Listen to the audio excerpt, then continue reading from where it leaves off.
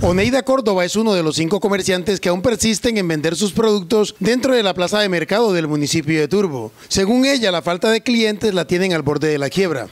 Esto no ha mejorado nada. Le pido al alcalde que meta, tenga alguna solución con esta plaza porque estoy sufriendo mucho acá adentro. Y es que la plaza de mercado a la que se le han invertido en los últimos 10 años más de 860 millones de pesos permanece desocupada en un 90%, pues los comerciantes prefieren vender sus productos en las calles, aduciendo que dentro de esta infraestructura los clientes no llegan a comprar.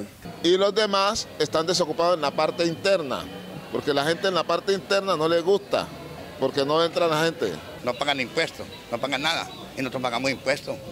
Yo tengo locales adentro, incluso no lo utilizo por eso que la gente de la región viene acá y se hace aquí a la calle, donde más barato que uno.